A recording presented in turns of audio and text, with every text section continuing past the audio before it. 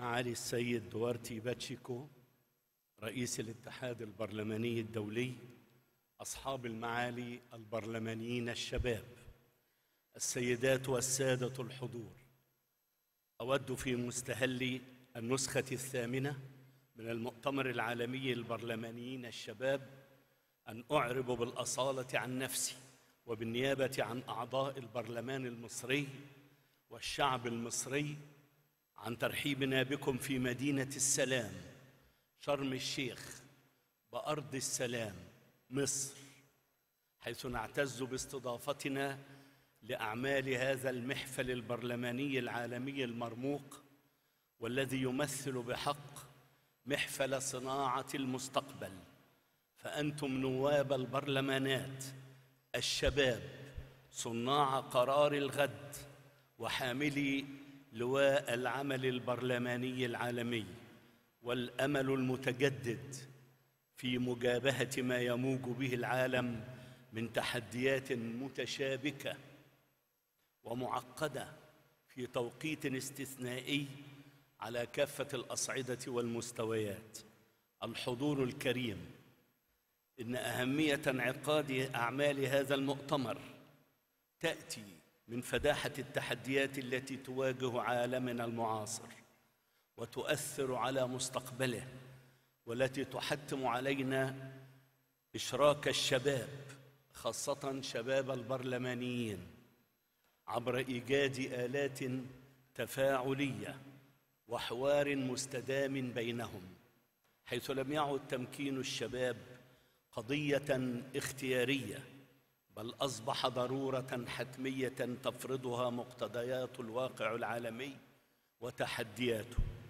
ولعل ما يمر به العالم هو ما مثل الحافز الرئيسي الذي جعل مجلس النواب المصري حريصا على استضافة أعمال هذا المؤتمر تحت رعاية السيد الرئيس عبد الفتاح السيسي رئيس الجمهورية والذي يأتي في إطار الرؤية المصرية الطموحة تجاه ضرورة تمكين الشباب في مختلف دوائر ومستويات صنع القرار. وهو ما انعكس على مستويات تمثيل الشباب المصري في دوائر صنع القرار التنفيذية والتشريعية. إيمانا من الدولة المصرية بأن هناك ضرورة ملحة وقصوى لإتاحة الفرصة للشباب للاشتباك والتعاطي الإيجابي مع مختلف القضايا والتحديات على الأصعدة الوطنية والعالمية مما جعل مصر تحرص كل الحرص على تدشين المحافل الشبابية العالمية مثل منتدى شباب العالم والذي تستضيفه مدينة شرم الشيخ في كل عام انطلاقا من الرؤية المصرية التي تستند على أن تلك المحافل والمنصات العالمية إنما تمثل أيضا تمثل أيضا ارضا خصبة لتبادل الرؤى والخبرات الشبابية تجاه مختلف القضايا والتحديات العالمية.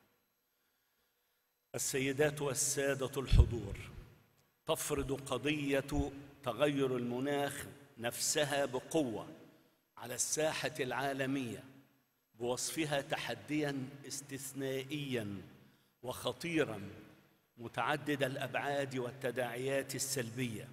فالآن لا صوت يعلو فوق صوت إنقاذ كوكبنا من ذلك الخطر المحدق والذي يشكل بحق تحديا وجوديا يهدد حاضرنا ومستقبلنا. وهو ما يحتم علينا التصدي السريع والحاسم لتلك الظاهرة التي أضحت مواجهتها ضرورة إلزامية تفرضها تداعياتها البالغة السوء على أرجاء عالمنا بأسره والذي يتعين علينا جميعا التكاتف والتحلي بالمسؤولية لمكافحته. بما يترتب عليه من ضغوط على النظام الأيكولوجي تسببت في آثار كارثية على المجتمعات البشرية والنظم البيئية والتي بدورها أدت إلى تفاقم الأزمات الاقتصادية والاجتماعية والأمنية فضلا عن زيادة موجات النزوح جراء تلك التداعيات الجسيمة لظاهرة تغير المناخ وهو ما يحتم على المجتمع الدولي بذل جهود حثيثة والتحلي بإرادة جادة وصادقة لمجابهة تلك الظاهرة عبر الحد من الانبعاثات باعتباره هدفا عالميا من أجل إنقاذ العالم من أخطار تغير المناخ. الزميلات العزيزات والزملاء الأعزاء.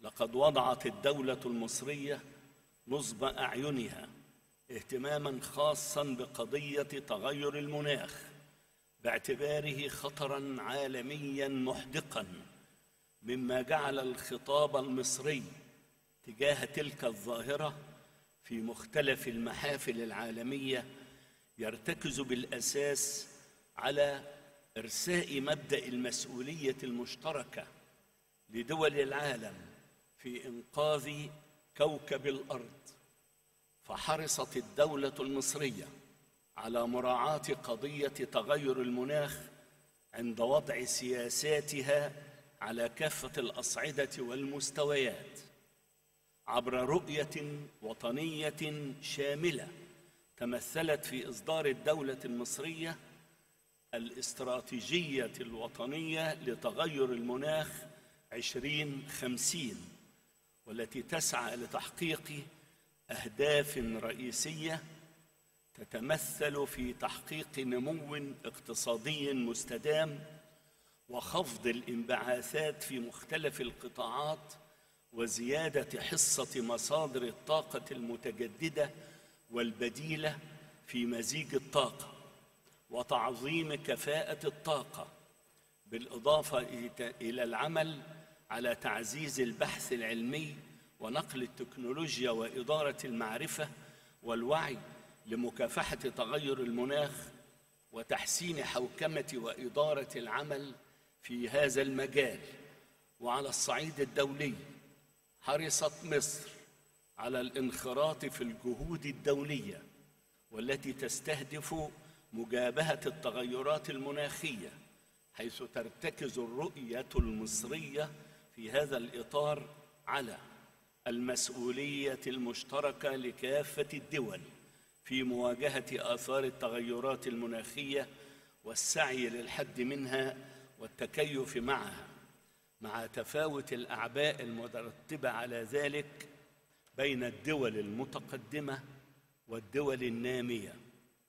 كما يأتي استضافة مصر لأعمال هذا المؤتمر ووضعها قضية تغير المناخ على جدول أعماله والذي يأتي قبل أشهر من استضافة مصر للدورة السابعة والعشرين لمؤتمر الدول الأطراف في اتفاقية الأمم المتحدة الإطارية لتغير المناخ كوب 27 ليبرهن على حرص مجلس النواب المصري على بلورة جهود برلمانية عالمية في مواجهة تلك الظاهرة للضغط على الحكومات من أجل تسريع وتيرة المواجهة النوعية والجادة لتلك الظاهرة الخطيرة وهو ما يرسل رسالة مصرية واضحة. لا لبث فيها أن هناك ضرورة ملحة وقصوى لمواجهة تلك الظاهرة العالمية على كافة الأصعدة والمستويات التنفيذية والتشريعية من أجل إنقاذ عالمنا من الأخطار الجسيمة التي تشكلها التداعيات السلبية لتلك الظاهرة.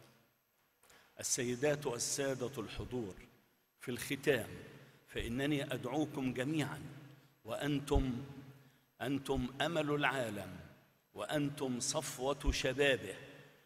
أدعوكم إلى التحلي بالمسؤولية الملقاة على عاتقكم في مواجهة تلك الظاهرة الخطيرة وغيرها من التحديات التي يشهدها عالمنا المعاصر فشعوبكم التي آمنت بكم وجعلتكم منبرا لها وصوتا مدافعا عن حقوقها تنتظر منكم الكثير. فكونوا على قدر تلك الأمانة العظيمة واحملوا آمال شعوبكم وخففوا عنهم آلامهم فأنتم قادة المستقبل وصناع قراره. وإذ أتمنى لأعمال المؤتمر كل التوفيق والسداد ولشعوبنا جميعا الأمان والسلام والرخاء. أشكركم شكرا جزيلا على حسن الاستماع.